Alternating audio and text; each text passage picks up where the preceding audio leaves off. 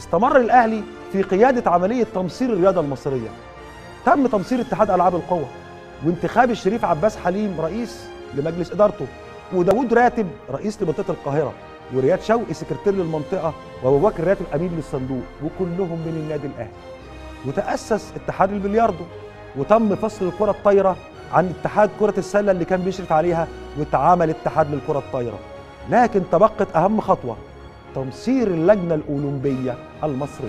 في محطة مهمة جدا وكبرى جدا ونقطة تحول كبرى في تاريخ ال- الرياضة المصرية بل في تاريخ الوطنية المصرية وهو أن النادي الأهلي قام بتمصير اللجنة الأولمبية وأسس لجنة أولمبية مصرية في مقر النادي بالجزيرة.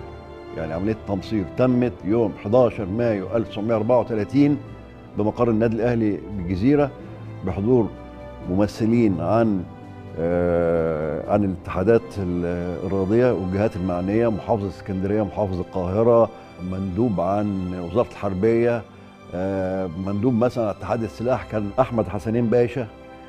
اللي أسسوا اللجنة الأولمبية المصرية أو اللي مصروها كلهم أهلاوية فيما عدا واحد. هذا الواحد كان محمد حيدر بيه أيامها لم يكن قد حصل على البشوية وكان حاضر بصفته ممثل لاتحاد الكرة.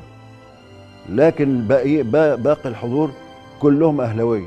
فمع إنشاء الضو... اللجنة الأولمبية المصرية سنة 34 نقدر كده نقول نقرأ الفاتحة أو اتقرت الفاتحة على الاتحاد المختلط وأصبحت الرياضة المصرية في قبضة المصريين. بارك الله في رجال الاهلي